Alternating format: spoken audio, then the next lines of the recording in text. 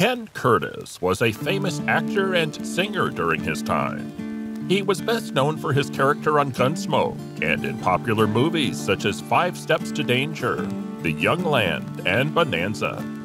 And his singing career made him even more famous. But everything went down because of a secret compromise. Watch until the end of this video to find out why Ken Curtis surprisingly took his own life after a secret compromise. Ken Curtis was born on July 2, 1916, as Curtis Wayne Gates. Curtis spent his first 10 years on a ranch on Muddy Creek in eastern Bent County, which is in Prowers County in southeastern Colorado. In order for his father, Dan Sullivan Gates, to run for sheriff of Bent County, the family relocated to Las Animas, which is the county seat of Bent County, in the year 1926. His campaign a success, Gates's father was elected sheriff of Bent County and served in that capacity from 1926 to 1931. As the jail took up the entire second floor, his mother, Nellie Sneed Gates, resided in the basement with the rest of the family and provided food for the prisoners. The jail is located for historical preservation purposes on the grounds of the Bent County Courthouse in Las Animas. Ken Curtis attended Bent County High School.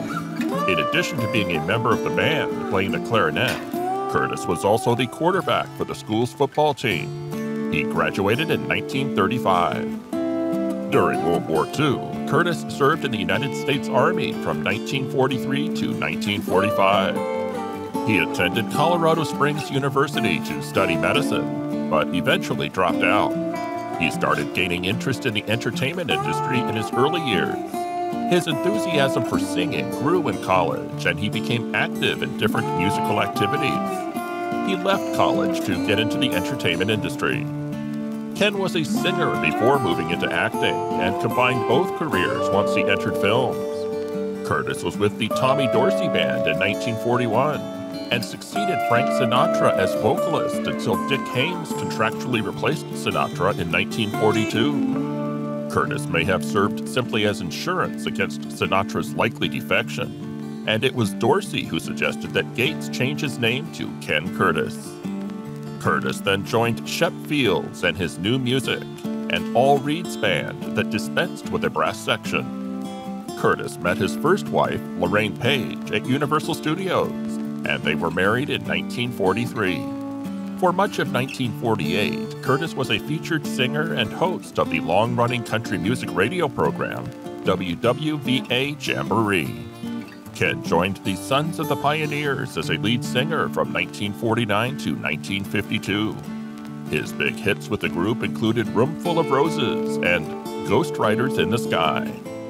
Columbia Pictures signed Curtis to a contract in 1945 he starred in a series of musical westerns with the Hoosier Hotshots, playing singing cowboy romantic leads. Through his second marriage, Curtis was a son in law of film director John Ford. Curtis teamed with Ford and John Wayne on Rio Grande. He was a singer in the movie's fictional band, the Regimental Singers, which was actually made up of the Sons of the Pioneers. Curtis is not listed as a member of the principal cast. It is possible that he played a bit part, but Curtis is best remembered as Charlie McCorry in The Searchers, starring John Wayne, The Quiet Man, The Wings of Eagles, The Horse Soldiers, The Alamo, and How the West Was Won. Curtis also joined Ford along with Henry Fonda, James Cagney, William Powell, and Jack Lemmon in the comedy Navy classic Mr. Roberts.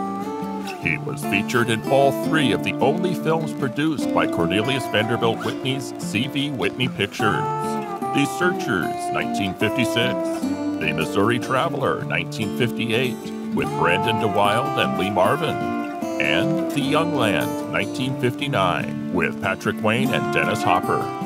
In Five Steps to Danger, a 1957 film, he is uncredited as FBI agent Jim Anderson. Curtis also produced two extremely low budget monster films in 1959 The Killer Shrews and The Giant Gila Monster. Also, in the film adaptation Conagher, based on a book by popular writer Louis L'Amour, he starred opposite Sam Elliott as an aging cattleman. Curtis guest starred five times on the Western television series Have Gun, Will Travel with Richard Boone. In 1959, he appeared as cowhand Phil Jakes on the Gunsmoke Season 4 episode, Jayhawkers. He also guest starred as circus performer Tim Durant on an episode of Perry Mason, The Case of the Clumsy Clown, which originally aired on November 5, 1960. Later, he appeared in Ripcord along with its leading star Larry Pennell, a first run syndicated action slash adventure series about a company of the same name providing skydiving services. This series ran from 1961 to 1963, with 76 half hour episodes in total. Curtis played the role of James, Jim, Buckley, and Pennell was his young disciple, Theodore Ted McKeever. The television show helped generate interest in the sport of parachuting.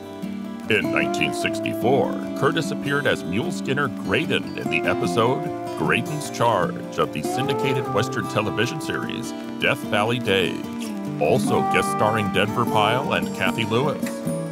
Curtis is still most well known for his part as Festus Hagen on Gunsmoke. In that role, he played an illiterate deputy who was scruffy and grumpy. Over the course of 20 years, Matt Dillon had a total of five deputies, but Festus played the role the longest for 304 episodes. Festus was based on a man from Curtis's Las Animas childhood named Frederick Munden, who went by the name Cedar Jack. Cedar Jack lived 15 miles south of town. He cut cedar fence posts for a living. Curtis saw Jack come to Las Animas many times, where he often got drunk and ended up in his father's jail. Festus's character was known in part for the nasal, twangy, rural accents that Curtis made up for the role, but which did not sound like Curtis's real voice. Celebrities on television often go above and beyond, often making public appearances to promote their shows. When Gunsmoke was not running, Curtis would act in Western themed stage shows at fairs, rodeos, and other venues around the country.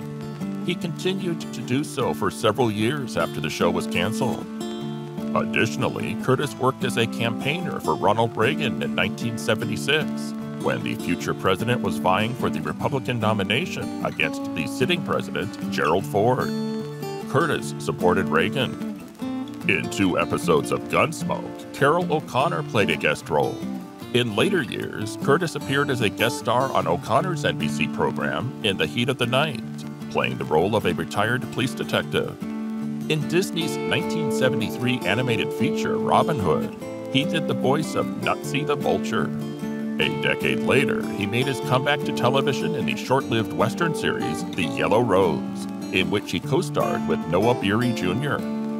In 1981, Curtis was inducted into the Western Performers Hall of Fame at the National Cowboy and Western Heritage Museum in Oklahoma City, Oklahoma. Curtis's last acting role was as the aging cattle rancher Seaborn Tay in the television production Conagher in 1991 by Western author Louis L'Amour. Sam Elliott starred in the lead role, and Curtis's Gunsmoke co-star Buck Taylor played Newly O'Brien, a bad man. Buck Taylor's father, Dub Taylor, had a minor role. Curtis remains best known for his role as Festus Hagen, the scruffy, cantankerous, and illiterate deputy in Gunsmoke. He joined the Gunsmoke cast in 1967, superseding the previous deputy, Thaddeus Thad Greenwood, played by Roger Ewing. Curtis married Tori Connolly in 1966. People used to say that Tori, quote, never met a stranger because she made friends with people so quickly. Even if you were only her friend for a short time, you were lucky because of how loyal, funny, generous, and confident she was with other people. She was the proud wife of her beloved Ken Festus Curtis for almost 30 years. Before that, she was the heart and soul of the professional rodeo cowboys community for 20 years. Ken and Tori were married until his death in 1991. A statue of Ken Curtis as Festus can be found at 430 Pollasky Avenue in Clovis, California, in Fresno County, in front of the Educational Employees Credit Union. Curtis lived in Clovis in his later years. With his third wife, Ken Curtis was forced to make a difficult compromise. Because of the stress of his job, Curtis became habitually exposed to tobacco and began using it as a kind of self medicating drug to alleviate his anxiety and tension. When not cared for, the body deteriorates rapidly and dramatically and makes pre existing heart disease worse. In the five years that he was married to his third wife, Tori Ahern Connolly, he developed a new perspective on health but was unable to alter his destiny. Ken Curtis's wife reportedly said that during their life together in the beginning of 1967, she discovered his unidentified cancer. Because this disease caused Ken Curtis so much anguish, he was unable to have children. Ken Curtis admitted that he was unable to conceal the truth. Thus, he let fate decide his destiny while in the process of adopting two children, he struck a long term compromise with his condition by continuing to smoke cigarettes into the latter years of his life. At the height of his struggles with arteriosclerosis, he suffered a fatal heart attack. His third wife revealed that Ken Curtis took care of all of their financial matters. This helps explain why he had been exhausted for so long after trying to be strong. She confessed that Ken was suffering from depression during the final two months of his life. Depression is a serious mental illness that can interfere with a person's life.